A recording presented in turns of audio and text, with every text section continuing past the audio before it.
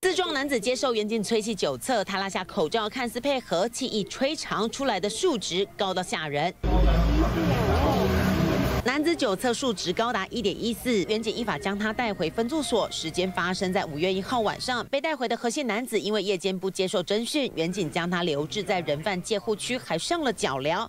隔天早上八点，他居然趁着远警去上厕所，挣脱脚镣，从大门逃跑。被请的同仁就先去上个厕所。那回来之后发现哦，那个嫌犯用不明的方法哦，自行挣脱脚镣。三十六岁的何姓男子因为酒驾自撞被拘留在分驻所，原警用脚镣限制行动。分局强调脚镣没有尺寸问题，也没故障，他却能直接打开，大摇大摆从分驻所门口离开。因为嫌犯他就后来就搭乘自行车离开哦，逮捕回来之后，我们也会请他。说明哦，到底是用什么方法去挣脱？自行挣脱脚镣的男子从大门走出来，还搭计程车离开，超过二十四小时，警方都还没追捕到人。怎么挣脱脚镣，原因都还不知道。这下警局的脸真的是丢大了。记者蔡无言、许福天，高雄报道。